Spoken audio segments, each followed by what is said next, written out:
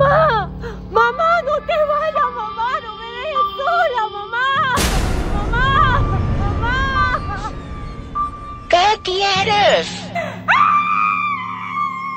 Mamá, mamá, mamá, no te vayas.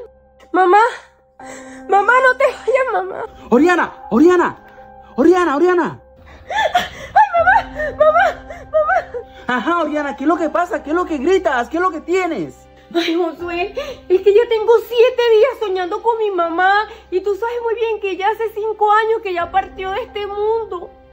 Ay, Oriana, acuérdese que cuando uno sueña con personas fallecidas hay que ponerle un vaso de agua. Agua, Lady. ¿Y eso para qué? Si cuando uno está muerto, ya uno no toma agua, ya uno no come, uno no siente. Eso dice la Biblia. Deja de venir con tus costumbres todas extrañas aquí en esta casa. Bueno, Oriana, esas son tus costumbres. Si no le pones el vaso de agua, no te van a dejar dormir. Oriana, tú sabes que esas cosas no me gustan. Y si yo veo que tú pones un vaso con agua aquí en la casa cuando yo no esté, vas a tener problemas conmigo.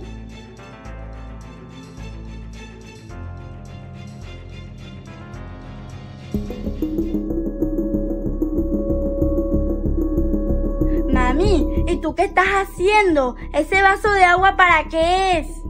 Ay, hija, lo que pasa es que es costumbre en nuestro país, cada vez que uno sueña con una persona que ya se fue de este mundo, colocarle un vaso de agua. Y ya tengo siete días soñando con tu abuela.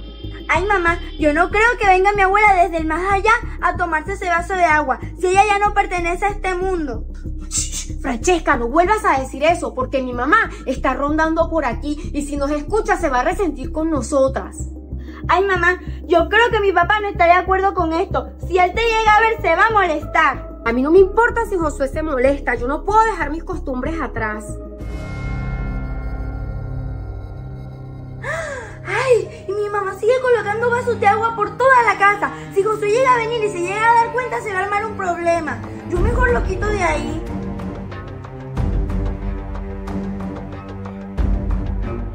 Francesca, ¿y usted qué hace con ese vaso con agua? No me diga que le está haciendo las aguas a tu mamá con esa cosa de ponerle agua a los fallecidos. Ay, no, Josué, ¿cómo se te ocurre? Si esta agua es mía, me la iba a tomar, tengo mucha sed. Hmm, Francesca, yo no soy ningún tonto. Yo de todo me entero. Cuidadito de estar escondiéndole cosas a tu mamá, ¿oíste? Ay, ahora me quitaron el agua. Ojalá y mi mamá no se vaya a molestar.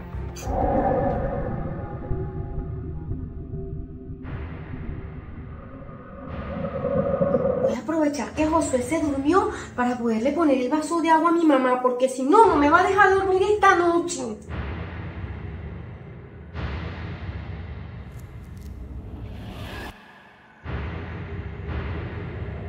Toma, mamá, esto es para ti.